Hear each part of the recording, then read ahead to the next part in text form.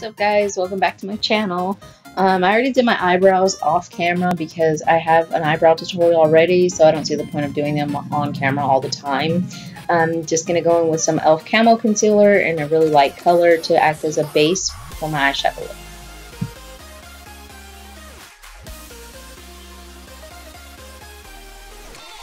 I'm just going to take my Handy Dandy Zulu palette by Juvia's Place and put some orange right um, above the crease. I like to put it where the eye socket is because that's where I'm going to cut my crease anyway. So it just saves effort and product to be honest.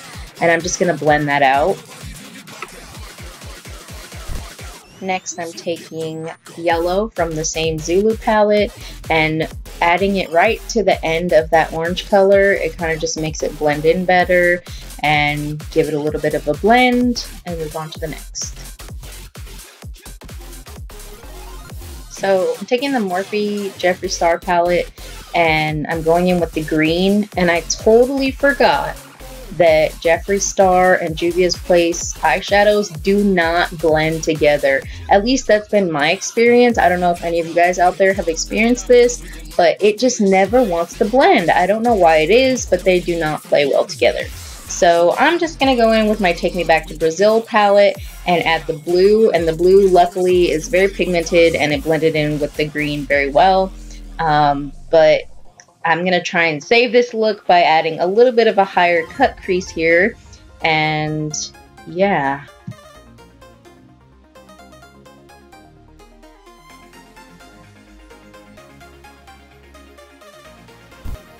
This is fine. Everything's fine. No, it isn't. I hate it. I'm mad. I'm angry. I'm taking the Bloodlust palette in purple. I don't remember the name, but I'll put it in the description box. And I'm just going to focus that on the outer corner of my eye and blend it up with the blue shade with a clean eyeshadow brush after I'm done setting it down.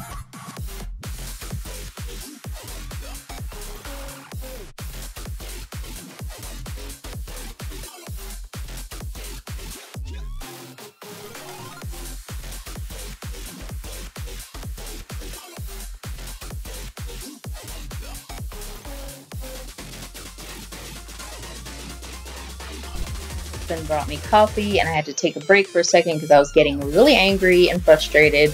But I went in with the pink in the Juvia's Place palette because I know this is going to blend really well with that orange. And I'm leaving the middle part open for some glitter.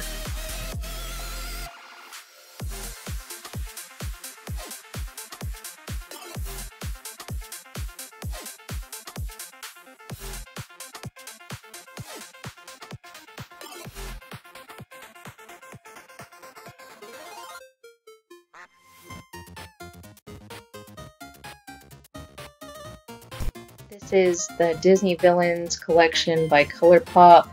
It's a really pretty holographic um, chunky glitter. And I'm just going to put that all over the center, trying to mask that portion that didn't blend, but yeah, it didn't work. It's still ugly, so what I'm going to do is take a neon yellow liquid aligner. It wasn't my original plan, but we're just going with the flow here and trying to cover that up we'll see how that works.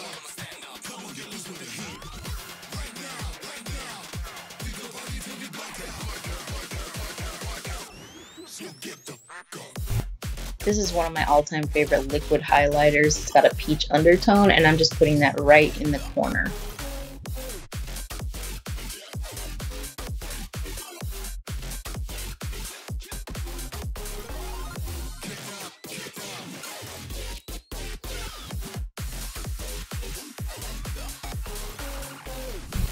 Like to do my face makeup before I finish my eyes, so I went ahead and did that, and then added liner, lashes, and finished the bottom of my eye look. And then I went ahead and added some royal blue eyeliner to the waterline, finished my bottom lashes, and then added a clear, literally, literally, literally, glittery gloss.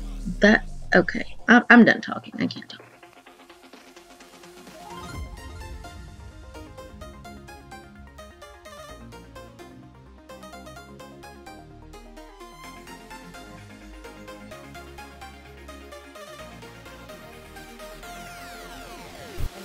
I hope you guys liked this video. If you did, please give it a thumbs up and subscribe. Thank you guys so much for watching. Bye.